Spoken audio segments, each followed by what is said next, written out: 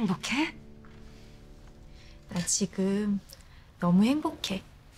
하루하루 행복해서 눈물이 날 지경이야. 그럼 됐어. 너만 행복하면 엄마는 아무것도 바라는 거 없어. 새별이가 복덩인가 봐. 새별이 생기고는 모든 게 다 술술 풀려. 그러게. 오서방 새별이 이뻐하지? 이뻐하다 뿐이야. 아주 새별이라면 사족을 못 쓴다니까. 내가 다 질투날 정도야. 오서방한텐 새별이가 유일한 빗줄이잖아.